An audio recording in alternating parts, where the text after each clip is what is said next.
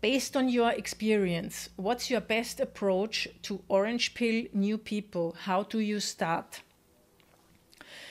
So, um, for me personally, I mean, there are the most, there are so many different approaches to that. Recently, I spoke with uh, Okin from Namibia, and he said, Yeah, well, I'm basically going to the pub and uh, when and I'm paying with Bitcoin there. And when people start talking to me and asking me about Bitcoin and saying things like, "Ah, Bitcoin is a scam; it's not a real thing," uh, then I'm paying them. I'm buying them a beer, and then uh, the discussion is suddenly a different discussion because suddenly the people saw that it's possible to uh, use Bitcoin to buy real life goods. And um, then he said he's just discussing with them and showing them how it works. Um, for me, it's a little bit different. Um, I tend to do it that way that I either I come to a new town or a new area or I attend a speak at a conference. So I set up a, a, a meetup, for instance, or a talk and with that, I already target the right audience because only people interested in Bitcoin will be coming to an event like that. So I filter out already all the people who might only be against it um, and be like the, the, the, the naysayers. Um, so find people who are interested in it is the first thing for me. Or if someone asks me a question, and then I try to find out their specific needs. Uh, that depends on the country I'm in because I believe the needs of people in terms of, of monetary value are very different uh, from Zimbabwe to Germany or the US. Although a couple of use cases for Bitcoin, like uh, uh, hedging or, or, being a sound money uh, that helps you against inflation and things like that. That's something that's similar everywhere. It only has different levels of uh, of uh, how, how how hard it is or how much it is, how how big the value loss is in a short time. Um, so try to find out their specific needs and then I will share a talk. Uh, it must not be a long talk 20 minutes, 15 minutes, 20 minutes are enough. Um, and especially tailored to the needs of the people. So I speak to the problems in their country, for instance. So I include uh, the problems that they might have. I try to find out what kind of people are they. Are they students? Are they people from uh, other uh, professions? Are they rather middle class or will they have a lower grade of wealth and things like that? And that's all important. It's very complicated, that's sadly true. But I think it's important to speak to the specific needs and the utility of Bitcoin.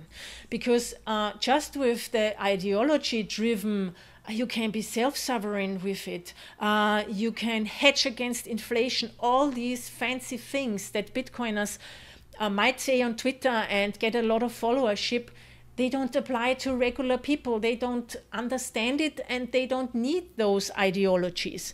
So give them something which helps them in their daily life and they will use it. Because as soon as they see how Bitcoin can help them either get money in and out of the country or store uh, money for a longer time frame or instead of um, hoarding uh, cash at home, which might rot, which might be eaten by rats. I mean, it sounds silly for someone in the Western world, uh, but for people in South Africa, in Bitcoin Ekasi, they told me that happens on a daily basis, or it's much easier to steal cash than uh, Bitcoin from a wallet because you would need the, the phone, the wallet, the seed, the pin, and all these kinds of things. So, um, going back to how to orange pill someone, showcase something. As Okin does it with buying people a beer. You can, for instance, show them how they can buy uh, a mobile top up via Bitrefill or a eSIM uh, if they want to go to another country, or how to buy an Amazon voucher or a Azteco voucher, and all these kinds of things that are there that are ready to be used. Because only then people see it's real. It's not a scam. It's you can you cannot touch it but it it buys you things that you can touch. As i said before i was in Witsand recently and i bought petrol with lightning. I bought um, my groceries with lightning at Pick n Pay here in south africa. So i think that the real life um, trip real life things are important and don't forget the most important security tips for them. That depends now how you onboard them. Which wallets are you showing? Um, and then it's important, like if you have a wallet with a 12 word seed phrase, show them how to secure their 12 word seed phrase. If you have wallet of Satoshi because it's uh, someone who really doesn't have a lot of money and they are, can just start stacking sats, then show them how to back up their wallet of Satoshi. And what I believe is very, very important is that there is a person, and that might be you or your regional meetup, where people can go to when they have questions. Because it's so important to build trust, and it's important in a technology that is so fast developing like Bitcoin to have a contact with the people, to be able to tell them, look, you need to go into your wallet now and do these changes because there was a change to the wallet. And if you don't do that, you might lose your funds. So I think this permanent connection, like we are having here on a monthly basis, every month you can ask me questions if there is something that you don't know. And every month and no, not only every month once, but I'm basically constantly producing new content for you. And if there's an emergency, I will say something to it and you will receive that news. And that's why I think it's so important to stay in contact with um, the Bitcoin community and your educator.